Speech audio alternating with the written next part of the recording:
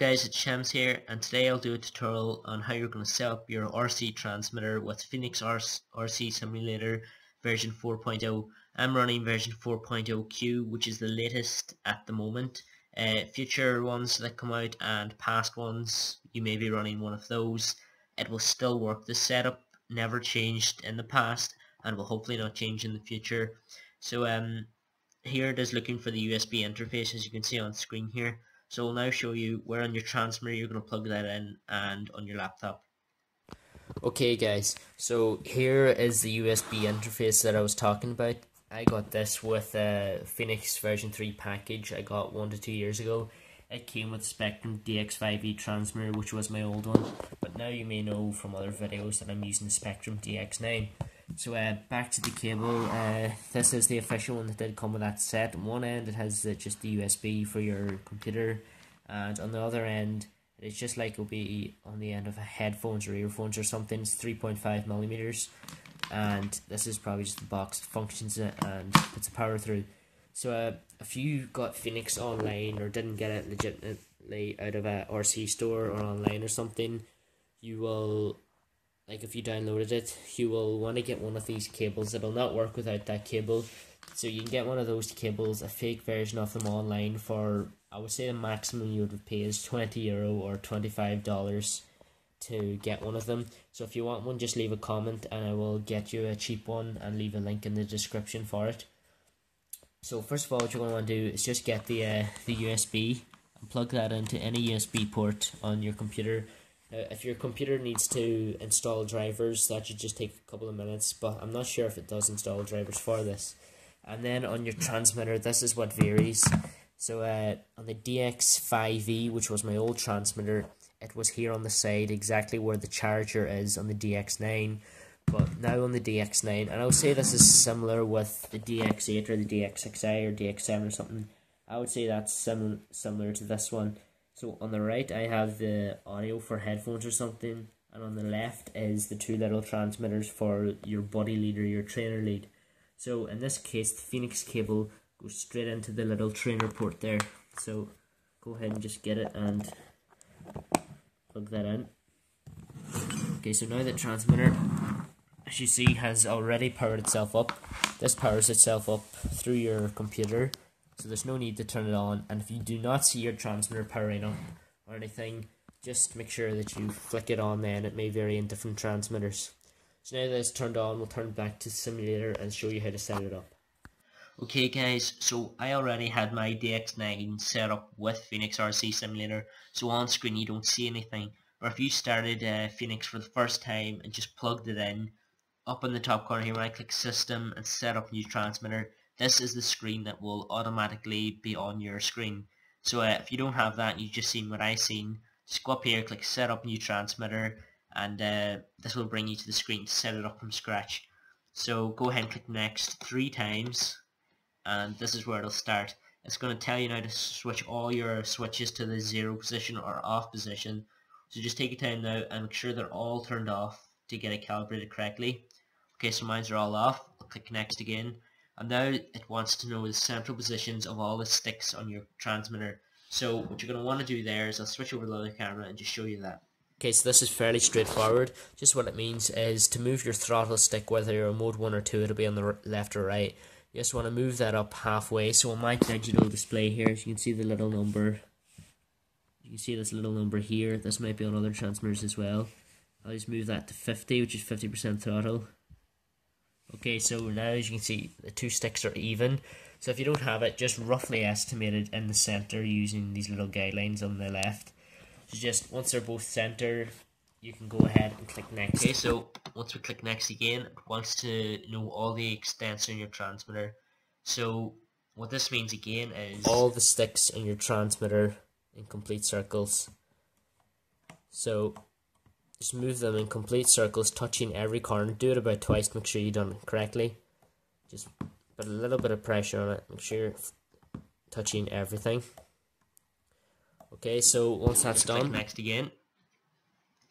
And now it wants to know all the extents of the switches in your transmitter. So just if you have any switches depending on the channels in your remote, you just want to flick all those on and off not the high rate switches or anything because it obviously doesn't pick them up. So if you don't see any of your switches working, don't worry because Phoenix just doesn't pick them up. Maybe because they're buying switches, trainer switches or something like that. So I have all my switches now moved. So I'll go ahead and click next again. Okay, so this is just a screen for checking your calibration. As you can see the throttle in channel 1 is moving up and down. Uh, channel 4, that is the rudder, that is working correctly. And they all go back to the center when you're done. Channel 2 is my ailerons, they go back to the center. And channel 3 is my elevator. You see they all go back to the center, that means they're all calibrated correctly. You can flick a couple of switches just to make sure they calibrated correctly as well. So once you're done, just click finish and then click next again.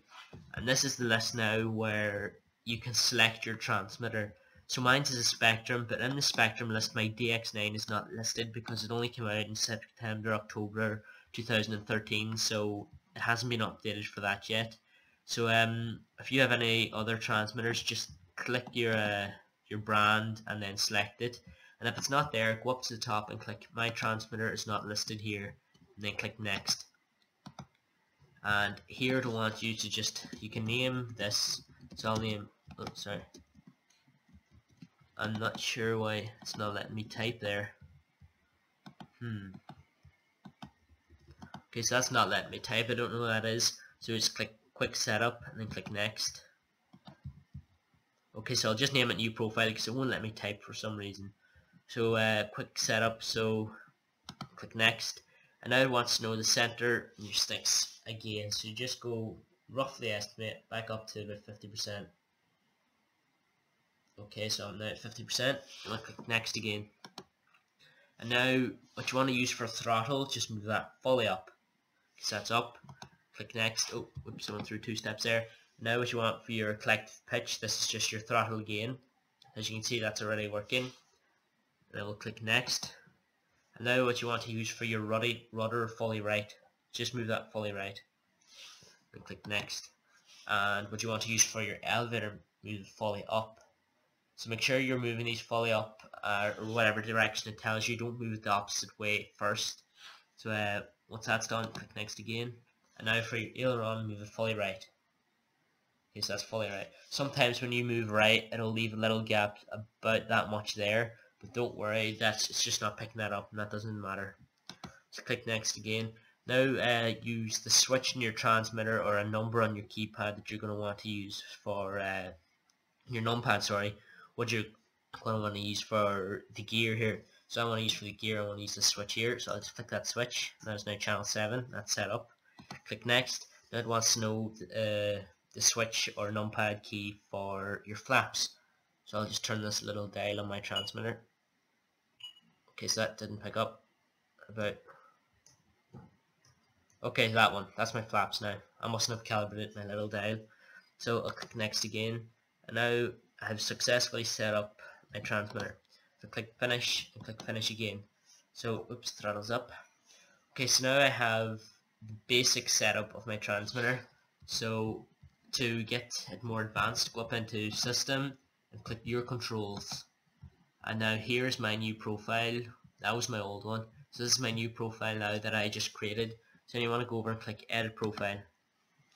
Okay, so up in the top here you'd be in the simple or detailed. So in detail here it's giving me general. So as you can see my throttle is assigned to channel 1. Cut restart engine, you can set that to whatever you want. I won't use that on the simulator so I won't be setting it. So track gears set which is set a minute ago. The wheel brake will flick that and we'll flick switch. As you can see it is flashing channel 5 when I flick that switch.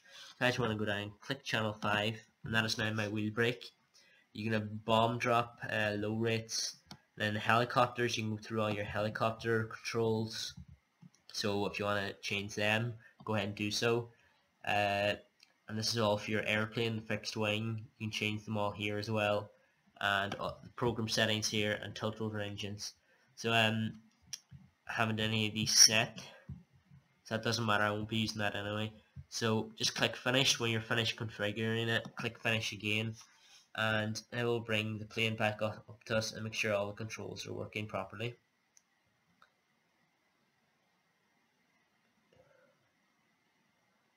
Okay, so rudder, yeah, rudder's working in the right direction. Okay, so brake's working. Found that out. Okay, so taxi it over. Okay, so when I move my aileron left, the left aileron on the plane should go up. Okay, so now we know the ailerons are working correctly. When I go right, right will go up. Okay, so they're both working correctly. Elevator, when I pull back, the elevator should pull up. Yep, that's working correctly. And uh, forward, it pushes down. My rudder, when I go left, it will tail out left. That's working. And right's working. And my throttle's working. Brakes are working. There's no gear in this plane, so it won't work my gear, and there's no flaps in this plane, so it won't need my flaps. So um, that is basic, uh, basic and kind of advanced setup of how you would set up your transmitter with your Phoenix. And uh, if any of these controls that I just showed you were inverted, just click System, back into your controls, click Edit Profile, select it, click Edit Profile, and you can go into Simple or Detail here and just this these little boxes here under the invert heading just tick one of those so if your ailerons were reversed you just click that. So I they were inverted automatically. Phoenix detected that and reversed them back to normal. So you'll just click any of these switches if, you, if they were in the wrong direction and just click finish again to save that. Okay so that's a basic and advanced setup of your transmitter that is now fully bound to your aircraft on the game. So now you can fly away, practice away. Uh, there'll be more Phoenix tutorials coming, there'll be more reviews or unboxings of products and plenty onboard flights uh, coming in 2014 and the years to come. So uh, thank you very much for watching and if this was helpful please click the like button, comment if you need any more help and subscribe for more content, that would really help me out. So yeah, thanks for watching, goodbye.